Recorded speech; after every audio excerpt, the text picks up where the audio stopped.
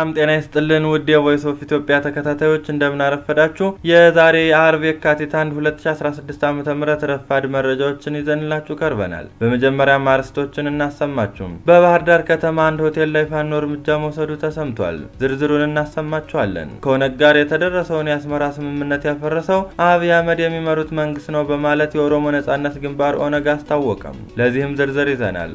ዋርካው ምሬ ወዳጆን ጨምሮ 27 አማራዎች ክሳቸው እንዲቋረጥ የስር ፍርድ ቤት የሰጠውን ብይን ጠቅላይ ፍርድ ቤት ሻረ። ይህንም ለትንታኔ የመረጥነው ጉዳያችን ነው። ከእነዚህ በተጨማሪ ሌሎች መረጃዎችንም ይዘናል፣ እናስደምጣችኋለን። እስከ መጨረሻው ድረስ አብራችሁን ትሆኑ ዘንድ በአክብሮት እንጋብዛለን። በተከታታይ የምንለቃቸው መረጃዎች እንዲደርሷችሁና ለሌሎችም እንዲዳረስ share፣ like እና subscribe ማድረጋችሁን አትርሱም።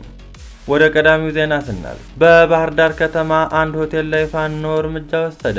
በባህር ዳር ከተማ ላገዛዙ የኮማንድ ፖስትና ወታደራዊ አዛዦች በወታደራዊ ካምፕነት እያገለገለ በሚገኘው አቬኑ ሆቴል ላይ የጎጃም ዕዝ የአማራ ፋኖ በባህር ዳር የመጀመሪያ የማስጠንቀቂያ እርምጃ መውሰዱ ታወቀም። ሆቴሉ ለወታደራዊ አዛዦችና የኮማንድ ፖስት አዛዦች ግብዣ የሚያደርግና ስፖንሰር እየሆነ የነበር እንደሆነ ተነግሯል። ለሆቴሉ ባለሀብት ተደጋጋሚ ምክርና ማስጠንቀቂያ የተሰጠው ቢሆንም ከድርጊቱ ባለመቆጠቡ ትላንት አመሻሽ ላይ በሆቴሉ ውስጥ reception አካባቢ የቦምብ እርምጃ ተወስዷል ተብሏል። ሆቴሉ በቀጣይም ከዚህ ማስጠንቀቂያ የማይማር ከሆነ ከፍተኛ እርምጃ ለመውሰድ እንደሚገደድ በጎጃም ዕዝ የአማራ ፋኖ በባህር ዳር አስታውቋል። ከኦነግ ጋር የተደረሰውን የአስመራ ስምምነት ያፈረሰው አብይ አህመድ የሚመሩት መንግስት ነው በማለት የኦሮሞ ነጻነት ግንባር ኦነግ አስታወቀም። ጠቅላይ ሚኒስትር አብይ አህመድ በህዝብ ተወካዮች ምክር ቤት ቀርበው ኦነግ ስራውን በሰላማዊ መንገድ እየሰራ ነው፣ የታጠፈ ቃል የለም ማለታቸው እንዳሳዘነው ኦነግ ገልጿል። ከፓርቲው ራሳቸውን ያገለሉና ብልጽግና የሾማቸው ግለሰቦች ካልሆኑ በስተቀር ከብልጽግና መንግስት ጋር ስልጣን ተጋርተው በስራ ላይ ያሉ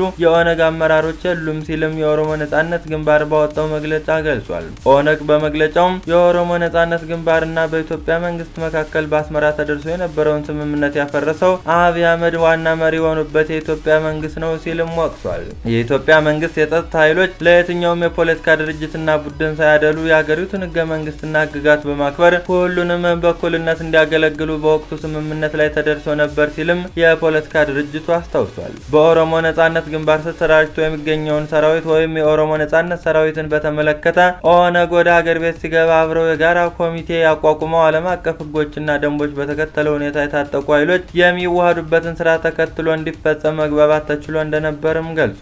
ሆነም ግን ኦነግ ከገባ በኋላ የሆነውና ኦነግ ላይ የተፈጸመውን ክህደት መላው ህዝብ ሙሉ መረጃ እንዳለው እናምናለን ሲልም ኦነግ ጨምሮ ገልጿል።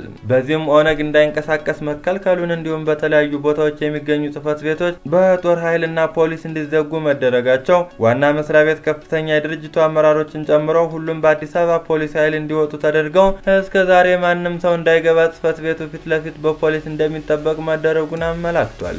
የኦነግ አመራሮች፣ የፖለቲካ ኦፊሰሮችና ባለስልጣናት ከመላው ኦሮሚያ ያልታሰሩበት የለ አይደለም የሚለው ኦነግ ይህን ጉዳይና ያለውን እውነታ በምርጫ ቦርድ የተቋቋመው ኮሚቴ ጉዳዩን መርምሮ ሪፖርቱን ለፖለቲካ ፓርቲዎች የጋራ ምክር ቤትና ለሀገሪቱ ፓርላማ የዲሞክራሲ ኮሚቴ ሪፖርት ማስገባቱን ጠቁሟል። እንዲሁም በመላው ሀገሪቱ ውስጥ የተሰማሩት የብልጽግና ጦር፣ ፓርቲ፣ ፖሊስና ሚሊሻ ኃይሎች ዜጎችን በፈለጉበት ቦታ መግደል፣ መደብደብ፣ መዝረፍና ቤቶቻቸውን ማቃጠል የዕለት ተዕለት ስራቸው አድርገውታል ሲልም ወቅሷል። ኦነግ በመጨረሻም የኢትዮጵያ መንግስታት የፖለቲካ ማምታታት ውጤት ኢትዮጵያ ለጦርነት፣ ለረሃብ፣ ለድህነት፣ ለመፈናቀልና ውድመት የዳረ ያደረገ እንደሆነ የሀገሪቱና የመሪዎቿ ታሪክ ይገልጻል ሲልም ደምድሟል። በህገ ወጥ የሰው አዘዋዋሪዎች አማካኝነት ወደ ኬንያ የገቡ ሶስት ኢትዮጵያውያን ትላንት ሜሩ አውራጃ ውስጥ በተሽከርካሪ አደጋ ህይወታቸው ማለፉን ዘስታር ጋዜጣ ፖሊስን ጠቅሶ ዘገበም። በአደጋው ሌሎች ስምንት ከባድ የመቁሰል አደጋ እንደደረሰባቸውና ወደ ሆስፒታል እንደተወሰዱም ዘገባው አመልክቷል። በተያያዘ ባለፈው ማክሰኞ በሰሜን ምስራቅ ኬንያ ኤሲሎ አውራጃ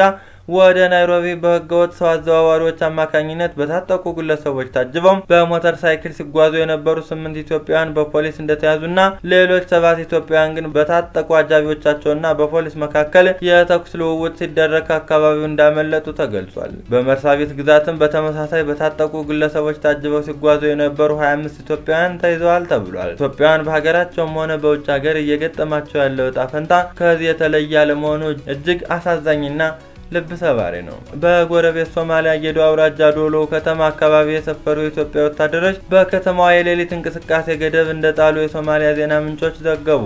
የኢትዮጵያ ወታደሮች በከተማዋ ላይ የሰዓት ገደብ የጣሉት ባለፈው ሳምንት እሁድ በአካባቢው በለድ ሀዎ በተባለች ከተማ ማንነታቸው ያልታወቁ ታጣቂዎች ስድስት ኢትዮጵያውያን ዜጎችን መግደላቸውን ተከትሎ መሆኑ ታውቋል። በኢትዮጵያውያኑ ላይ ተፈጸመ ለተባለው ግድያ ይህ ዜና እስከተጠናከረበት ሰዓት ድረስ ኃላፊነት የወሰደ አካል የለም። በግድያው ዙሪያ የኢትዮጵያ ውጭ ጉዳይ ሚኒስቴርም ሆነ በሞቃዲሾ የኢትዮጵያ ኤምባሲ ያሉት ነገር የለም። ዋርካው ምሬ ወዳጆን ጨምሮ 27 አማራዎች ክሳቸው እንዲቋረጥ የስር ፍርድ ቤት የሰጠውን ብይን ጠቅላይ ፍርድ ቤት ሻረም። የአማራ ሕዝብ የብልጽግናን አገዛዝ በቃይ በሚል ተቃውሞ ማንሳቱ እንዲሁም አመፁ ወደ ትጥቅ ትግል መሸጋገሩን ተከትሎ አገዛዙ ለስልጣን ያሰጉኛል ያላቸውን እየመረጠ የሚችለውን ሲያስር የማይችለውን ደግሞ በአፈሙዝ ለመግደል ሲሰራ ቆይቷል። በአሁኑ ወቅትም ቁጥራቸው የበዛ ፖለቲከኞች እና የሚዲያ ባለሙያዎች አማራ መሆናቸው ለብልጽግና ስጋት ነው በሚል በግፍ እስር ላይ እንደሚገኙም ታውቋል። በትላንትናው ዕለት ደግሞ ጠቅላይ ፍርድ ቤት በነ ዶክተር ወንደሰን መዝገብ የተከሰሱም 27 ግለሰቦች ክሳቸው እንዲቋረጥ በስር ፍርድ ቤት የሰጠውን ብይን ሽሬያለሁ ብሏል።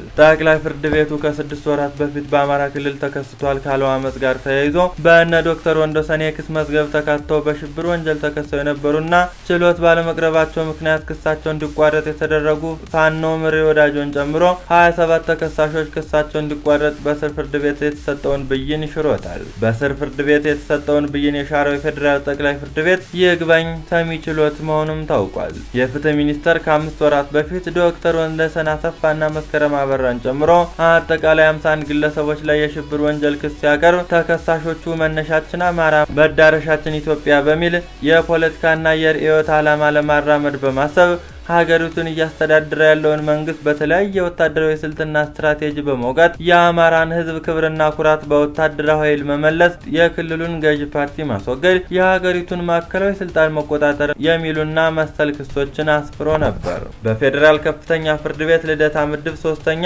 የህገ መንግስትና በህገ መንግስታዊ ስርዓት ላይ የሚፈጸሙ የወንጀል ጉዳዮችን የሚመለከተው ችሎት ክሱ ከቀረበ በኋላ ክስ ከተመሰረተባቸው አጠቃላይ 51 ተከሳሾች መካከል ዶክተር ወንደሰን አሰፋና መስከረም አበራን ጨምሮ 23 ተከሳሾች ችሎት ሲቀርቡ ቀሪ 27 ተከሳሾች አልቀረቡም ነበር። ይሁንና ችሎቱ የቀረቡት 23ቱ ተከሳሾች የተከሰሱበት ድንጋጌ ዋስትና የማያሰጥ ነው በሚል በማረሚያ ቤት ሆነው ጉዳያቸውን እንዲከታተሉ ተደርጎ ነበር። ቀሪ 27 ተከሳሾች ፍርድ ቤት አለመቅረባቸውን ተከትሎም ፖሊስ እንዲያቀርባቸው አቃቤ ሕግ ለችሎቱ ጥያቄ አቅርቦ ነበር። በዚህ ጊዜ በማረሚያ ቤት የሚገኙ ተከሳሾች የተፋጠነ ፍትህ ሊያገኙ እንደሚገባ ጠበቆቻቸው ገልጸው ጉዳያቸው ተነጥሎ እንዲታይላቸው ጠይቀውም ነበር። ፍርድ ቤት ያልቀረቡ ዋርካው መሪ ወዳጆን ጨምሮ 27 ተከሳሾችን በሚመለከት የፌዴራል ፖሊስ ማረጋገጫ እንዲያቀርብ ትዕዛዝ የተሰጠ ሲሆን ፖሊስ ግን ተከሳሾቹ ጫካ መግባታቸውን ገልጾ ማረጋገጫ ማቅረብ እንደማይችል መልስ ሰጥቶ ነበር። ይህን ተከትሎ አቃቤ ሕግ ያልቀረቡ ተከሳሾች በጋዜጣ ጥሪ እንዲያደርግና ካልቀረቡ ጉዳያቸው በሌሉበት እንዲታይም ጠይቆ ነበር። ፍርድ ቤቱ ተከሳሾቹ ጫካ ከሆኑም የጋዜጣ ጥሪ ቢደረግም ተደራሽ ሊሆን አይችልም የሚለውን ግምት በመያዝ የጋዜጣ ጥሪ ማድረግ ሳያስፈልግ ክሱ ይቋረጥ በማለት ብይን ሰጥቶም ነበር። አቃቤ ሕግ በስር ፍርድ ቤት የሰጠውን የክስ ይቋረጥ ብይን በመቃወም ለፌዴራል ጠቅላይ ፍርድ ቤት ይግባኝ ሰሚ ወንጀል ችሎት ይግባኝ ብሏል። ይግባኝ ሰሚ ችሎቱም የግራ የመልስ መልስና ክርክሮችን አይቶ በትላንትናው ቀጠሮ ክሳቸው ይቋረጥ ብሎ በስር ፍርድ ቤት የተሰጠውን ብይን ስነ ስርዓታዊ አይደለም በማለት ብይኑን ሽሮታል። ዜናዎቻችን በዚህ አበቁ። ቀጣይ በሌላ አዳዲስ ጉዳዮች እስክንገናኝ መልካም ውሎ እንዲሆንላችሁ እንመኛለን። ሰላም